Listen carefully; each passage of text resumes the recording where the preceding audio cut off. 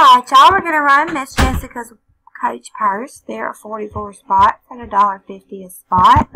Let's copy the list and go live at 256, just rolling to 257. Let's paste our list. We have 44 spots, so we are going to need a 4 or higher on the dice. We have an 8. Here we go at 257. After the first time, there are 44 items on the list. Sherry is on top. And Vicky is on bottom. Dice calls for an 8. Here we go at 257. That's 2, 3, 4, 5, 6,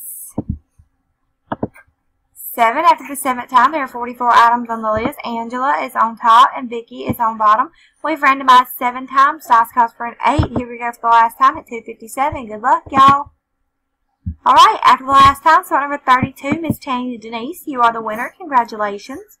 There are 44 items on the list, and here are all 44 items. We randomized 8 times. Dice 6 and 2 did call for an 8.